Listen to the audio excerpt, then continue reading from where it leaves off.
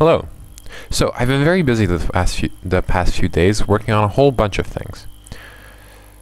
One of the main things that I've been working on is how the motor connects to you know the legs, the, the output, how the input connects to the output.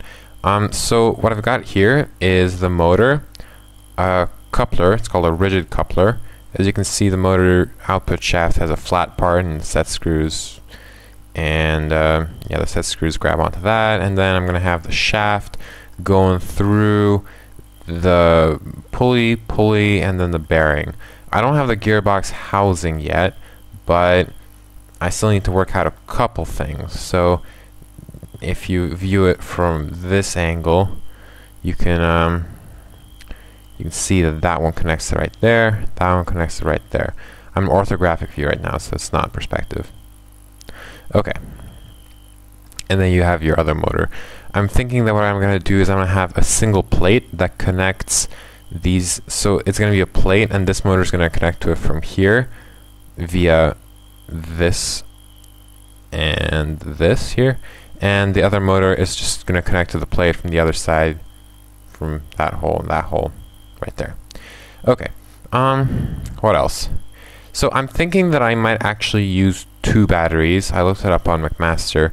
Uh, this is the site that we use for um, for buying stuff. Anyways, it's uh, they're two six volt batteries that I'm gonna hook up in series, and I'll have a little less amp hours. I'll have 4.5 instead of seven, but theoretically, it's just still run for about an hour, so that'll be good. And the reason that I'm doing this switch is so that it's just more space efficient. That's that's the real reason.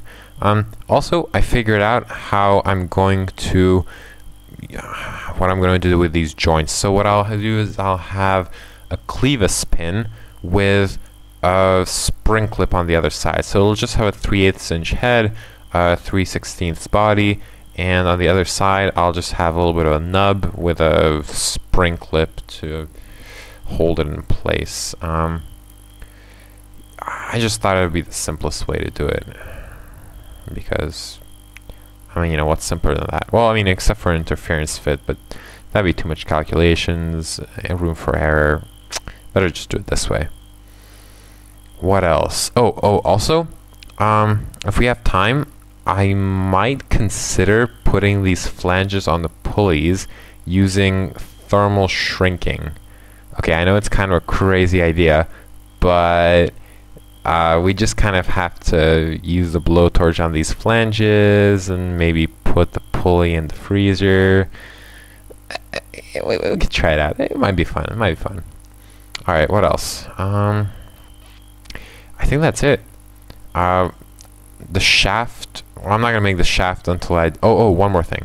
So right now I'm trying to decide if I should have two bearings or just one bearing because this belt needs to be tensioned and that belt needs to be tensioned and then this shaft's going to have a lot of weird loads on it. If I had just that one bearing then the motor output shaft would be taking some of that weird load. If I had two bearings, one of them right over here between the two pulleys and this other bearing, so sort of the two pulleys would be between the two bearings, then that would sort of protect the motor. But then I'd have to have two more plates and the bearing, and it would it would complicate the design. But it might be necessary, so I'll look into that. I'll also look into the simplest way of tensioning this belt because I I don't want to have to add like a bunch of yeah.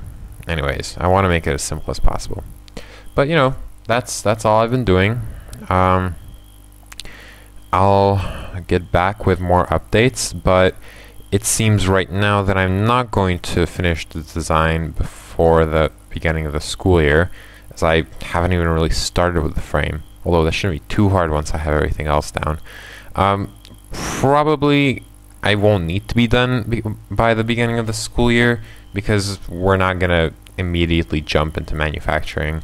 I'm probably going to want to actually prototype one of the legs to make sure that the whole pin thing works and there's not too much friction then yeah I, I just gotta make sure that it'll work out fine um, and then of course I'll have to order some of this stuff and take measurements and yeah, it'll it'll be a long process, but it will be a good one. Anyways, um, hope you guys are looking forward to this because I sure am. Uh, so yeah, tuning out. Uh, see you guys next time.